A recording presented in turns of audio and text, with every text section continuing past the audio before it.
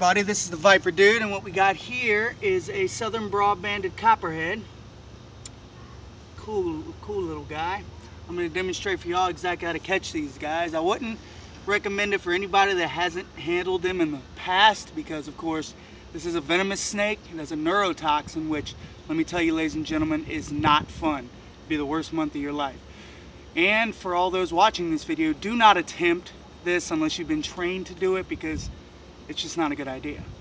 All right, here we go. Here. You want to pin the head directly behind the neck like so. He'll flail and stuff like he's doing right now, but make sure not to press down too hard because you don't want to hurt the animal. You want to subdue it. Now you want to creep your fingers slowly. You see how he's trying to bite me, but he's not going to. Slowly right behind the head like so. Pin the neck. See that?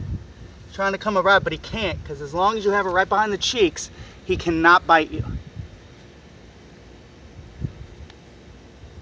He's a mean little guy, but this is the southern broadband copper, and that is the proper way to catch a venomous snake.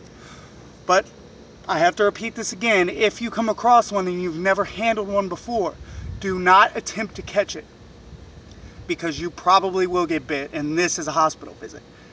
Once again, this is the Viper Dude, and I am signing off.